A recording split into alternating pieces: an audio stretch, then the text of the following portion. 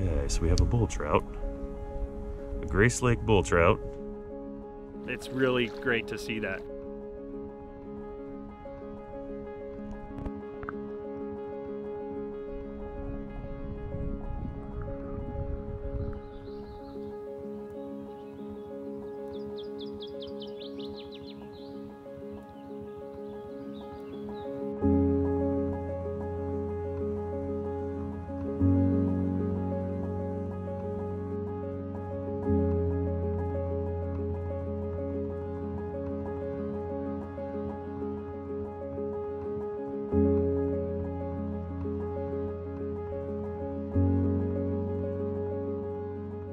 We are headed up to Grace Lake, which is upstream of Logging Lake, protected by a barrier falls, to sample some bull trout that were introduced in 2014 as part of a conservation introduction.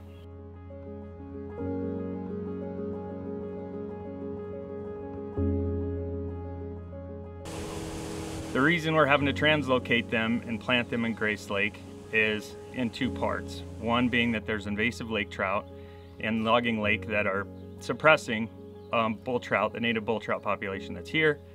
And the other reason is climate change and increasing water temperatures. It's very warm. Bull trout are very thermal specific and um, they need cold, clean, clear water. And we're kind of losing that in some of our lower elevations. So moving them up to higher elevations that are going to stay colder longer is, is what's best for them.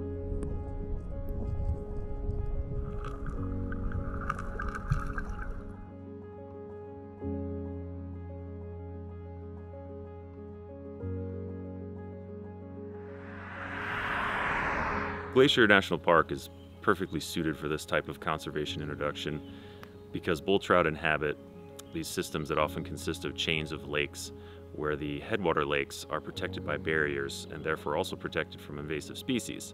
And on top of that, they provide the cooler habitats currently and are projected to provide the colder, more suitable habitats for bull trout into the future.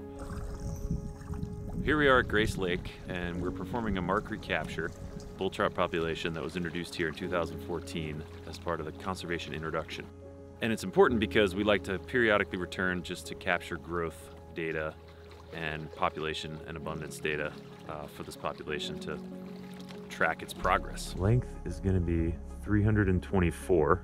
Grace Lake is situated several hundred feet higher than Logging Lake, and it's also sitting on the upper end of a chain of lakes. So the water is typically cooler up here in Grace Lake, in the lake itself, and especially and more critically in the stream habitats. The goal of this is to provide a refugia. Knowing the threats that these species face, warming waters, decreasing runoff, or changes to our peak runoff times, the lakes that were selected to place these fish were deliberately chosen, carefully chosen for where they sit, what influences them, and the risks posed by non-native species. So the three watersheds we looked at all already had invasive species in them, uh, in the form of Yellowstone cutthroat trout. And so from there, we just considered recipient habitat, recipient community, how those might change, how those might accommodate bull trout, future threats, what kind of climate change effects might we see to the stream temperature that would influence the suitability of these places?